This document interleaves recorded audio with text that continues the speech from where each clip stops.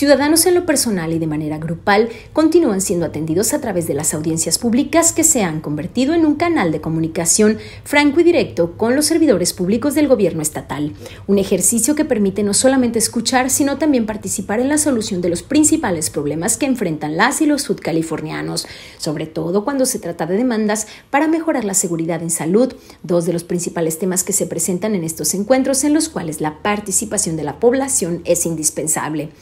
Otro de los principales señalamientos que se registran en las audiencias públicas son los relacionados con la demanda de trabajo y asesoría jurídica. Es importante señalar que en todos los casos las personas reciben una respuesta. En esta ocasión, el gobernador Víctor Castro y funcionarios de las distintas dependencias dialogaron con 22 ciudadanos en una jornada que se desarrolló en las instalaciones del Teatro de la Ciudad. Se reitera una vez más el llamado a quienes busquen la oportunidad de hacer de viva voz sus planteamientos ante el gobernador, el profesor Víctor Castro y los servidores públicos para que se registren y sean atendidos en el menor tiempo posible.